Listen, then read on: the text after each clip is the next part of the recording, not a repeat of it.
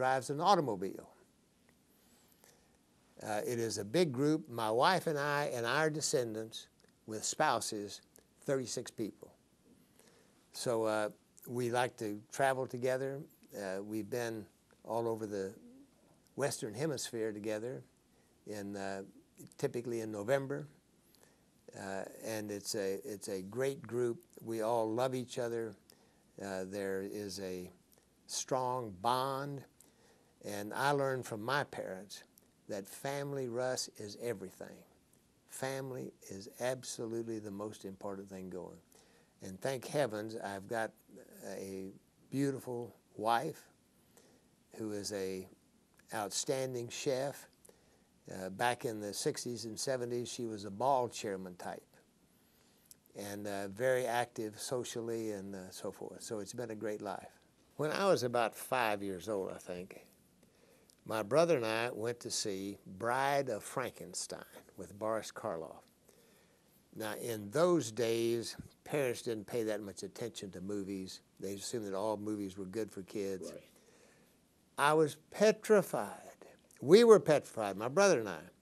And we would, in the middle of the movie, we'd go up and hide in the balcony. And, uh, and then after a few minutes, we'd get our courage up, we'd go back and look at, watch the movie a little bit longer and go back. It was uh, so scary. But anyway, after I had kids, I would uh, put on a coat backwards, and I would, I had a monster mask, a Frankenstein mask that I'd put over, and I would walk stiff-legged like Boris Karloff did. Well, the thing about it is, uh, I wonder now if I had some kind of psychological damage to my kids because they talk about it to this day. They were petrified. We have lots of people with fire in the belly. Uh, let me contrast Houston with almost any other city in America.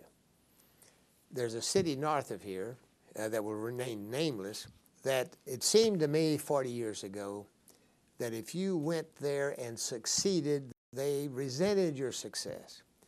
In Houston, Texas, in the 65 years that I've been here, we've always applauded success.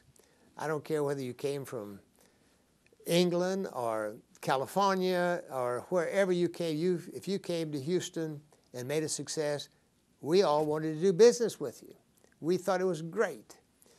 And the city of Houston has had that fire in the belly and has had leaders who were willing to go out of their way and go the extra mile. And that's what, why Houston is the city that it is today, six million people. Welcome. Has it been a great life? Being 83 is not all bad because everything I buy comes with a lifetime guarantee. I never thought I'd say to myself, oh, to be 65 again. Uh, that was almost 20 years ago. So uh, it, it's, it's a great life, and, uh, and I've enjoyed every minute of it.